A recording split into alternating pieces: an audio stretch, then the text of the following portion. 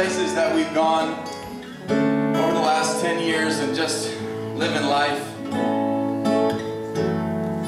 there's a common theme in the heart of every breathing human. We all want to change. We all know we need change. But the place where we get it mixed up is that we feel like we have to do it all at once.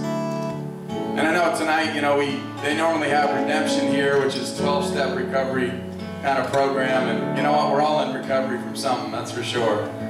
So it's great to come on out and uh, have a good fellowship and all that good stuff. But hold on, I lost my train of thought. No new drugs, kids. Yes. We all try to change it in one big swoop. And it's overwhelming, and usually we fall on our faces. And the fact of the matter is, what I've learned in my life is that as I bring my life to the foot of the cross, just one day at a time, I've been reading Matthews 5 and 6 for months now. Matthew 5 and 6, Jesus teaches us how to pray. And he reminds us worry about the things of this world. Because as we lean on him, he shows up and provides. And then the very last verse, it says, Don't worry about tomorrow, for today has enough worries of its own. And the moment that I realized that, probably six months ago, I started living for today, and peace came into my life. Because the thought of having to change everything, the thought of having so much to overcome, was a heavy weight. And so we just want to remind you, you know, the, the my life verse, one of them, there's many, but it's Romans 12, and it says this. It says, Don't be conformed to the world, don't be like everybody else, but be transformed by the renewing of your mind. And I guess here's the here's the point.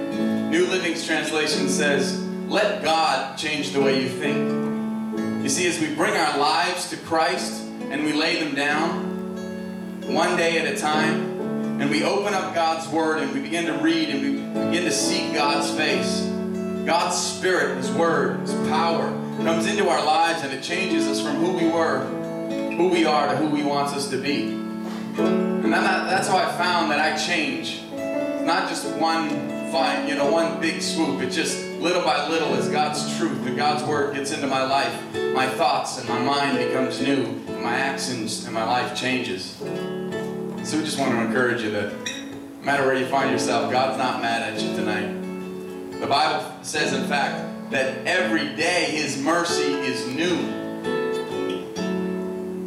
So let bygones be bygones. Tonight, remember that it doesn't matter where you are, what you've done. You walked into this place tonight. God's mercy is here.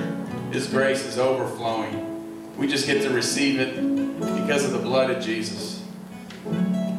Now, this next song is called Broken Man.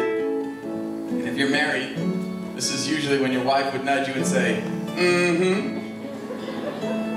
But anyway, we're going to play it for you.